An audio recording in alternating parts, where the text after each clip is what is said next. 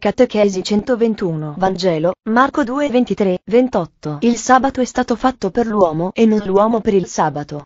Ciò che differenziava Israele dai popoli vicini era l'osservanza del riposo nel giorno di sabato, questo rispetto faceva considerare ai romani pigri gli ebrei, e proprio gli ebrei che osservavano il riposo del sabato, facevano lavorare i loro schiavi e il sabato aveva una grande importanza per gli ebrei, ricordava ad essi il primato di Dio e la loro libertà ottenuta da una condizione di schiavi, era il giorno del ricordo della loro dignità riacquistata. In questo giorno bisognava fermare tutto e ricordare i favori ricevuti da Dio. La cosa curiosa è la loro difesa del precetto del sabato, se ne appropriano talmente da trasformarlo con tante norme e prescrizioni inventate dagli uomini e accostate al sabato, come passi che bisognava fare, quali azioni compiere, che cibo mangiare, eccetera. In questo modo erano ritornati schiavi nuovamente anche se di prescrizioni inventate da loro. Il rispetto della loro legge era diventato più importante di Dio arrivavano a giudicare la devozione delle persone considerando l'osservanza esteriore, con questo parametro decretavano chi erano i buoni e i cattivi. L'azione compiuta dai discepoli di Gesù nel giorno di sabato per gli ebrei è grave, mostrano però i limiti delle loro conoscenze e il Signore spiega che già Davide aveva mangiato il pane quando non poteva e lo fece per necessità. Lo spiega con l'equilibrio dell'uomo libero, non solo perché è figlio di Dio. Gesù non si preoccupa dell'accusa dei farisei perché ingenua e falsa, risponde con la parola di Dio e li zittisce. Oggi il Vangelo ci dice che se il sabato è fatto per l'uomo, non si può giustificare l'acidia spirituale o pigrizia di quanti anche di sabato non pregano o compiono azioni gravi. Ci dice che anche di sabato il cristiano ha l'obbligo di pensare alla sua crescita spirituale, perché esiste la necessità della purificazione interiore. Questa purificazione o redenzione intesa come liberazione dagli atteggiamenti esteriori ipocriti, facilita la comunione con Gesù. Non si è più schiavi dei propri impulsi naturali quando si ascolta la parola di Dio e si attuano gli insegnamenti di Gesù.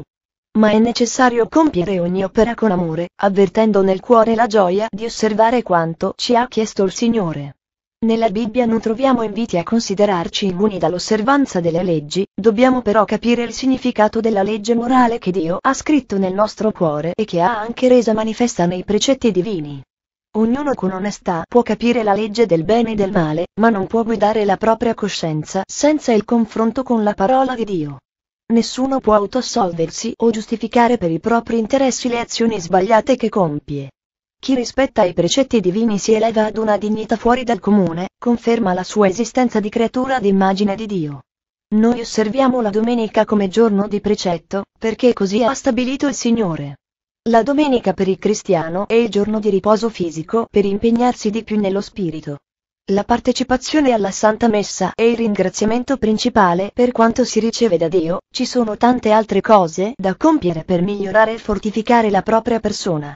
La Santa Messa non deve essere considerata come un obbligo per evitare castighi, e invece un incontro gioioso e amorevole con il Creatore che ci aspetta in chiesa e vuole sentire il nostro amore per Lui, vuole che lo consideriamo Padre per tutto quello che nessun Padre terreno ha mai potuto donarci.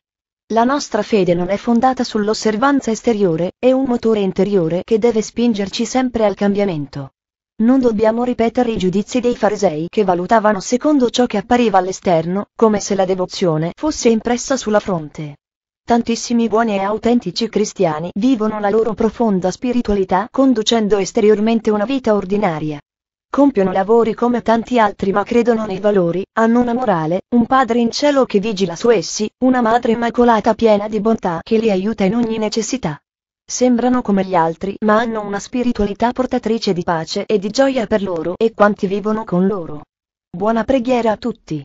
Vangelo, Marco 3, 1, 6 È lecito in giorno di sabato salvare una vita o ucciderla? Oggi per me è un giorno molto importante, prima di tutto perché è l'anniversario di un'apparizione della Madonna dei poveri e poi perché lo scorso anno sono stato guarito da una brutta malattia. Ringrazio la Madre Celeste per avermi concesso questa grande grazia di cui io sono il primo a dire che non la meritavo, ma lei che è una buonissima e bravissima mamma, ha voluto fare questo grandissimo dono a me e a tutta l'associazione. Adesso passiamo alla catechesi. La liturgia ci presenta un altro episodio riguardante il sabato. Ci vuole poco per fare scattare la reazione dei cattivi, contro Gesù si coalizzarono farisei ed erodiani, intenti più a cercare pretesti per accusarlo che per capire le sue parole e le azioni miracolose. L'atteggiamento di queste persone è crudele, non capiscono che sono esse a cadere nel peccato quando si riuniscono per uccidere Gesù, infrangono il comandamento non uccidere per sfogare tutto il male che portano dentro. Il male non si sviluppa all'improvviso, però si trasforma e si adatta alle varie circostanze, come l'acqua. L'acqua si adatta ai recipienti che la contengono, il male si stabilizza dove trova chi lo contiene e lo lascia sviluppare.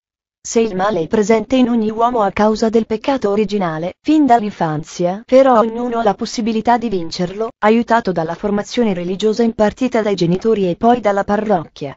Queste due colonne sono indispensabili per la crescita sana di un bambino, il quale ha assolutamente bisogno delle figure del padre e della madre per non far sviluppare il male. Da che mondo è mondo si è sempre parlato di matrimonio tra uomo e donna, la famiglia non può assolutamente sussistere senza le due parti integranti e che si completano. Lasciano di stucco le richieste di questi giorni riguardo le unioni civili, il matrimonio omosessuale, l'adozione dei bambini e la maternità surrogata. I matrimoni omosessuali tra uomini non è forse il disprezzo della donna? Cosa dicono le femministe? E il matrimonio tra donne non è il disprezzo degli uomini? Cosa dicono i maschilisti? Ogni loro affermazione per i cristiani sarà sempre opposta anche al buon senso. La maternità surrogata permette di diventare genitore anche a chi non riesce a portare a termine una gravidanza, grazie ad una donna che accetta di affrontare gestazione e parto per altri. Tutte le forme di maternità surrogata rappresentano un grave attentato alla dignità umana. Ne ha parlato anche il Consiglio delle conferenze episcopali nell'Unione Europea per la bioetica ha sottolineato come le donne subiscano questo tipo di sfruttamento a causa della povertà, e si rileva che anche il bambino in queste pratiche altro non è che un oggetto. Nel documento della Commissione di studio che fa riferimento, appunto, alle conferenze episcopali dell'Unione Europea si condanna anche l'espressione utero in affitto, utilizzata comunemente per questa pratica, perché non tiene conto che la gestazione non riguarda solo un organo ma l'intera persona. Si tratta di un business inaccettabile che sfrutta le donne più vulnerabili e più povere. Le due colonne della formazione religiosa dei bambini oggi scricchiolano, famiglia e parrocchia spesso non seguono più la morale cattolica, e i cedimenti arrivano innanzitutto dal conformismo, dalla paura di manifestare che le richieste degli atei parlamentari e di quanti di loro non seguono la morale e sono privi dei valori cristiani, sono in realtà richieste immorali. Questo ci insegna la sana dottrina della Chiesa. Non trovo un altro termine di immorale, per indicare questa iniziativa politica che tiene banco da molto tempo e che non trova nella Chiesa una risposta forte, esauriente e determinata. Il silenzio che si fa sentire dalla Chiesa è quasi un segnale di resa o di accettazione alle proposte inique e devastanti per la stessa società. A noi laici bisogna richiedere un impegno spirituale più coinvolgente, siamo noi soprattutto a sostenere con grande spirito di preghiera e di rinuncia a qualcosa come forma di penitenza, la vittoria della Madonna su questa proposta di legge. Anche se adesso appare scontata la vittoria dei sì, tutto può accadere in questi pochi giorni e questo dipenderà dal Santo Rosario offerto alla Madonna. Impegniamoci di più nella preghiera e rivolgiamoci alla Madre di Dio con parole semplici e piene di fiducia. Tutto tu puoi tocca ai cuori dei parlamentari che hanno ancora un brandello di fede. I parlamentari cattolici praticanti che voteranno no, sono invece meno di 100, gli altri voti deve procurarli la Madonna e questa legge è possibile sconfiggerla, ma occorre moltissima preghiera, è una sfida per tutti, noi chiederemo con grande fede. Vangelo, Matteo 17 22, 27 Lo uccideranno, ma risorgerà. I figli sono liberi dal tributo. Non potevano compiere assolutamente nulla gli ebrei senza la consegna nelle loro mani di Gesù. Questo particolare di non poco conto sfugge a molti miscredenti e non per ultimi, anche a cattolici di larghe vedute. Diciamo di vedute al di fuori del Vangelo. I miscredenti sono gli eretici di questi tempi, non accettano il Vangelo come la Chiesa lo ha trasmesso in questi due millenni e si trovano anche all'interno della Chiesa.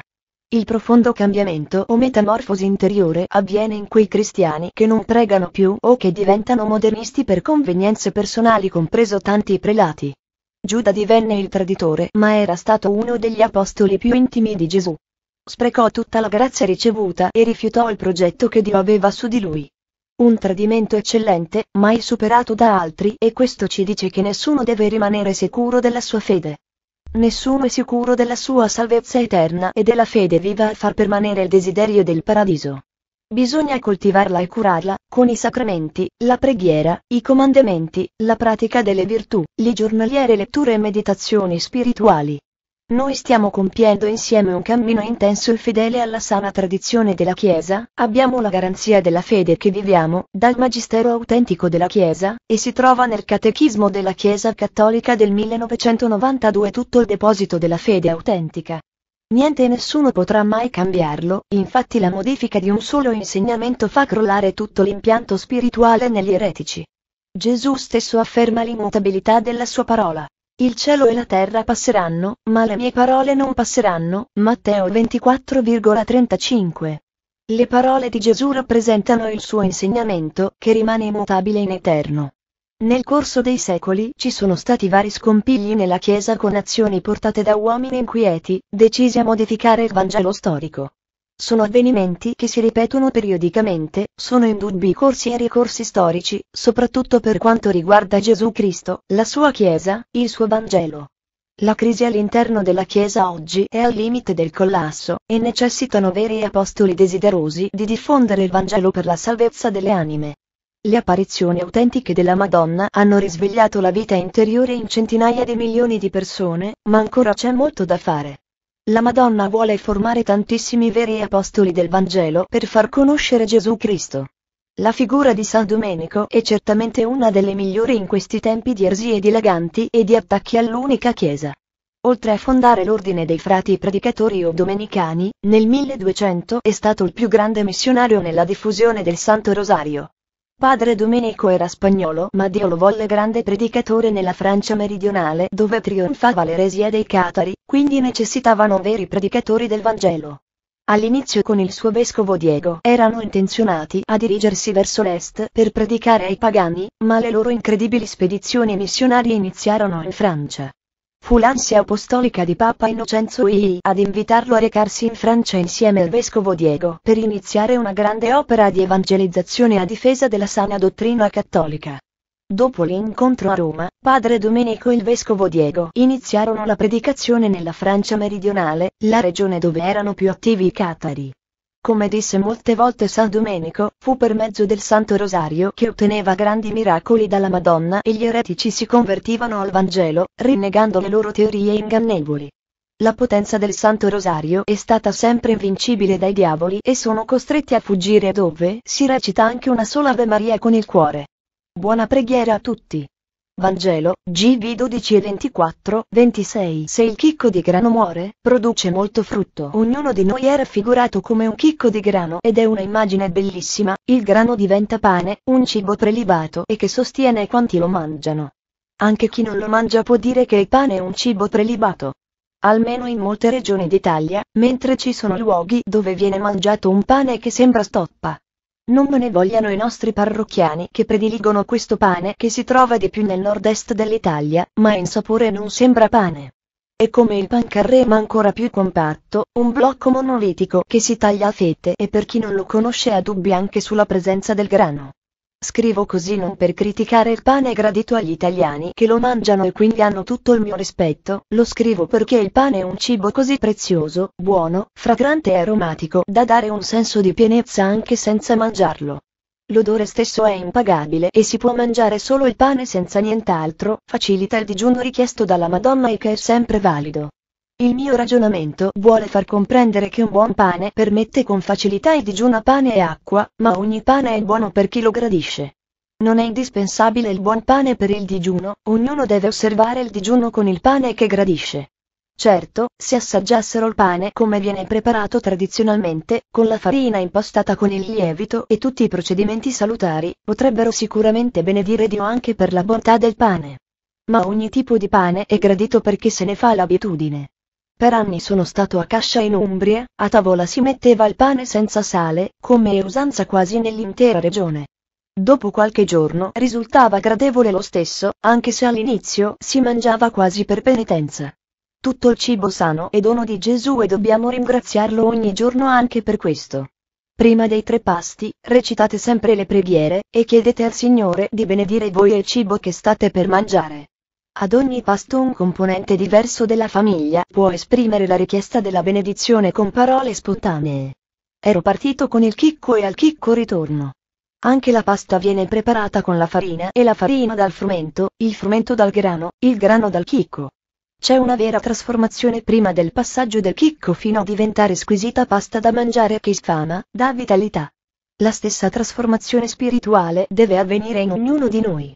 Inizialmente siamo come un chicco disfatto, all'inizio del cammino spirituale siamo pieni di miserie, con una forte inclinazione verso le debolezze e incapaci di trasformarci da soli. Dobbiamo morire a noi stessi per risorgere in Cristo. Questo è il processo che avviene nel chicco di grano. Esso si deve disfare per rinascere. Gesù ha come lasciato un testamento parlando della parabola del chicco di grano, e la sintesi della sapienza divina, e Gesù ricorre all'esempio del chicco di grano che si vede disfare e morire nella terra, ma non è distruzione perché nel suo disfarsi produce molto frutto. La pianta produce infiorescenze in spighe composte, i frutti sono cariossidi o chicchi e, se macinati, producono la farina. Dal grano tenero, che risulta facilmente frantumabile, si ricava la farina, dal grano duro, che oppone una maggiore resistenza allo sbriciolamento, si ricava la semola. Il termine semola indica sempre la farina, ma è per distinguerla dal grano tenero. Ogni uomo e ogni donna sono chicco di grano, seminato da Dio nei solchi della storia, della famiglia, dell'ambiente di lavoro e tutti sono chiamati a portare molto frutto. Da parte di Gesù c'è tutta la disponibilità ad aiutare per far crescere ogni piantina che siamo ognuno di noi, ma noi dobbiamo lavorare per eliminare tutta quella zizzagna che da ogni parte cerca di soffocare il chicco buono per non farlo diventare spiga, frumento, farina, pane e pasta. In questo mondo impazzito e privo di morale, dove tutta l'immoralità viene presentata come un bene e chi non trasgredisce è un cafone e rimane sempre Gesù Cristo l'unica pietra angolare a cui aggrapparci con tutte le forze, per non lasciarci tirare via dalle tempeste dei messaggi indecenti ed impuri che circolano in ogni ambiente. Occorre coraggio e una fede forte per rifiutare certi discorsi ed evitare di dialogare con persone senza Dio ma che incontrate nell'ambiente di lavoro e in tante altre occasioni. Ricordate che siete come il chicco di grano, se viene sopraffatto dalla zizzagna della corruzione, esso perde ogni vitalità e muore definitivamente. Perdete la comunione con Gesù. Se invece come un chicco di grano liberato dalla zizzania, crescete e diventate spiga per poi sfamare con la parola, il buon esempio, la bontà, l'amore, la verità, quanti vi ascoltano, vivrete veramente come creature rinate nello spirito di Gesù e resterete in piena comunione con Lui. Cosa può offrirci di più meraviglioso dell'amore di Gesù, il mondo con i suoi piaceri effimeri, con le mode insensate e il nulla? Vogliamo essere buona farina per effondere a chi ci incontra il buon odore di Gesù, per saziare gli affamati di Dio, donando il nostro amore. Ringrazio di cuore quanti recitano la novena San Michele Arcangelo e il Santo Rosario per me. Rivolgetevi sempre a questo straordinario principe delle milizie celesti, è potentissimo e scaccia subito i diavoli. Quando invoco San Michele sulle persone disturbate dalle negatività dei diavoli, subito stanno meglio perché i diavoli sono costretti a scappare.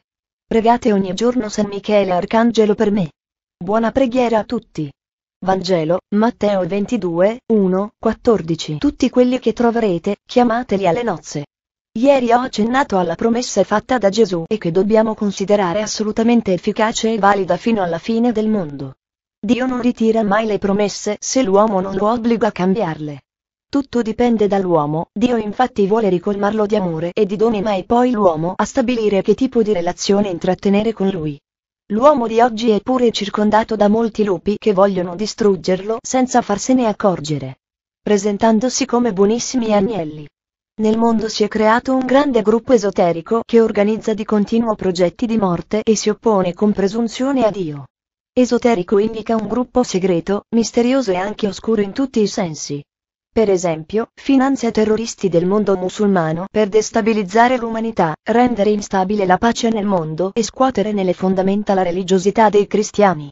Sembra un racconto noir, un genere letterario molto seguito dai mass media e che indica il romanzo nero. Di nero ci sono troppe cose. I due candidati alla Casa Bianca, bianca di facciata, mentre all'interno le trame oscurano tutto e comunque ci sono due candidati che non se le mandano a dire, ma c'è l'uomo che un giorno sì e l'altro pure, accusa l'avversaria di fatti molto gravi. Ha anche detto che l'avversaria è la cofondatrice dell'ISIS, mentre il presidente americano Obama è il fondatore dell'ISIS. Accuse più gravi di questa non esistono al momento, eppure la donna è rimasta in silenzio, non ha minimamente reagito. Premetto che io non voterei per nessuno dei due, se fossi americano di sicuro non andrei assolutamente a votare, mentre gli americani schierati con uno o l'altro partito daranno i loro voti secondo la loro ideologia. L'accusa formulata dal candidato repubblicano contro la democratica è esplosiva e non sembra che sia stata rivelata senza fondamento. Se andiamo a verificare, anche il presidente americano, come un suo fraterno amico, non chiama musulmani terroristi che finora hanno compiuto gravi atti di terrorismo, e questo la dice lunga sulla posizione degli Stati Uniti riguardo all'ISIS. C'è allora qualcosa di vero nell'accusa del candidato repubblicano? Davvero il presidente americano e i suoi amici hanno voluto l'ISIS? Sì, io ho sempre sostenuto nelle catechesi che l'ISIS è stata una creatura degli Stati Uniti e dei tedeschi. Oggi un quotidiano scrive che la Russia ha iniziato a bombardare l'ISIS ad ampio raggio, mentre in Libia gli Stati Uniti e l'Italia dall'inizio di agosto si stanno preoccupando di bombardare Sirte, la città roccaforte dell'ISIS, e questo è dovuto alla pericolosità dei terroristi, probabilmente sfuggiti di mano a chi li ha armati inizialmente. Ecco cosa scrive un quotidiano.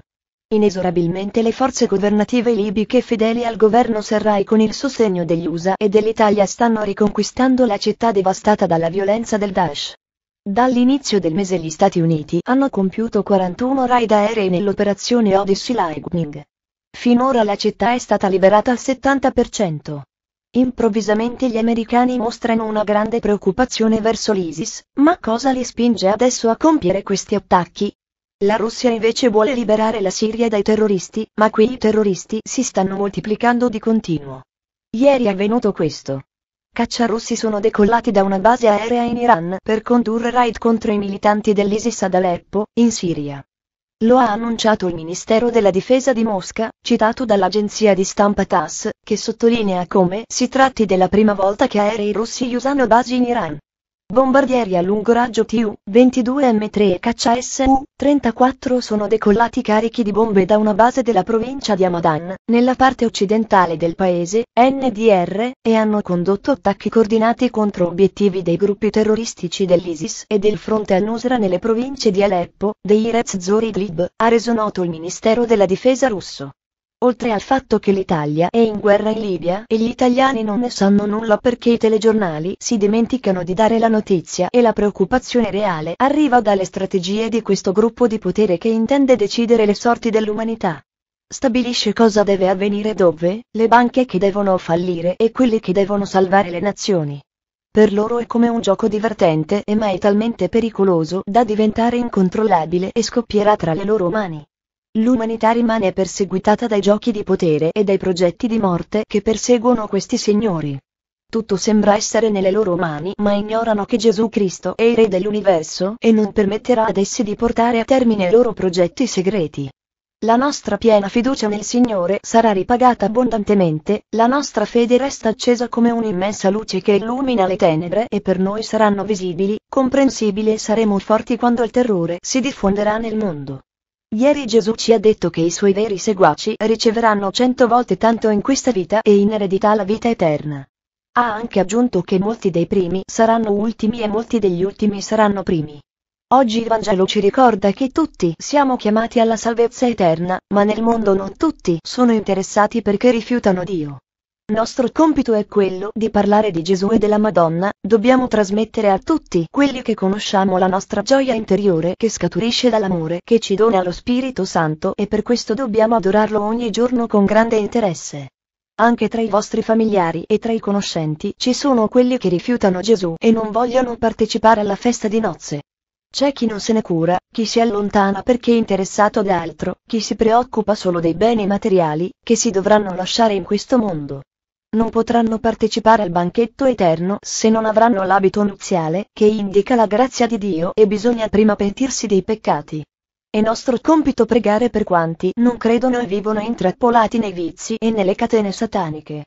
Tutto possiamo ottenere con il Santo Rosario. Buona preghiera a tutti.